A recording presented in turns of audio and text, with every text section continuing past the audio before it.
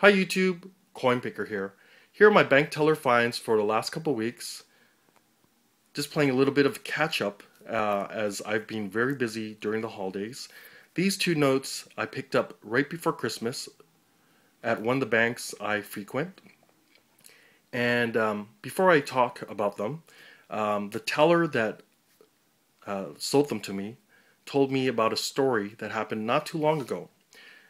Uh, it, she was a new teller that works at the uh, cash cage, and she told me um, that someone had come in and wanted to exchange $200 face value of silver Canadian coins for, you know, new banknotes. And, you know, she's not a collector, but whenever she sees one or two dollar bills, she would, you know, buy them as cheap souvenirs to give out or to keep and um, there was one banker that requested for her to save them for them. And I think the the teller, you know, just told him that you know she would just want, you know, a couple for herself, you know, just as a souvenir. So at the very next day, when she came into work, they were all gone. The the banker bought them all. So I thought that was pretty you know, pretty greedy and selfish.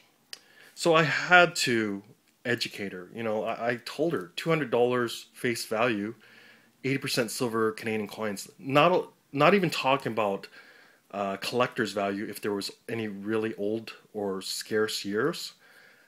I said silver value alone, that's like $2,600, you know, worth of silver, just melt value uh, you know, being let's say uh, thirteen dollars for every one dollar face.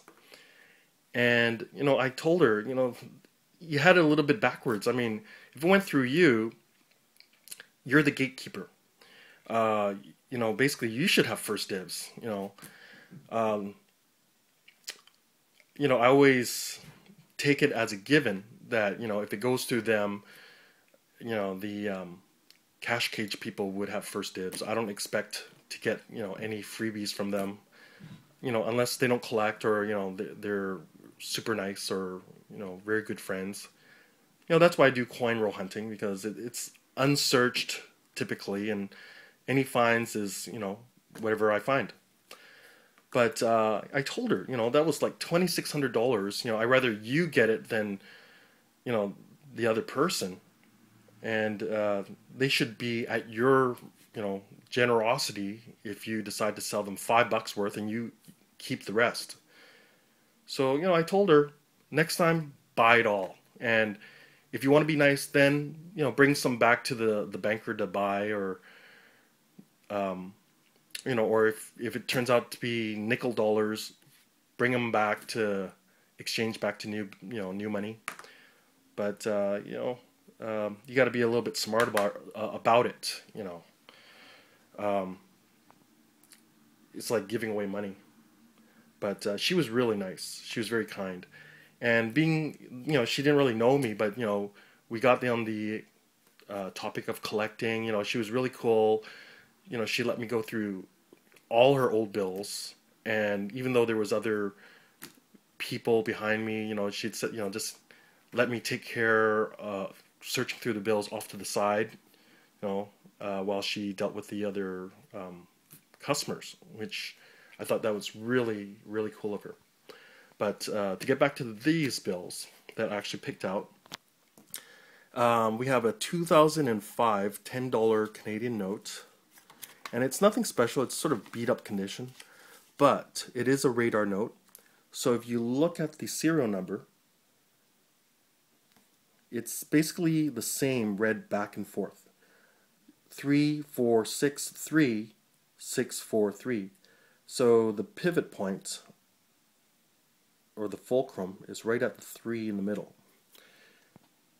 So it's mirrored from the 3 onward, either left or right, which is pretty cool. I, I you know, keep all the ones I find. And the second note is nothing special. I mean, it's uh, a 1988 Bird Series $50 bill from Canada. It's not a replacement note or anything like that, but it's a nice crisp condition. So I'll check if I need that for my collection. Worst comes to worst, you know, maybe um, give it to a uh, fellow collector friend, you know, in exchange for a new $50 bill, of course. But, anyways, that's my story, and these are my finds. I hope you enjoyed it. Please rate, comment, and subscribe. Coin Picker out.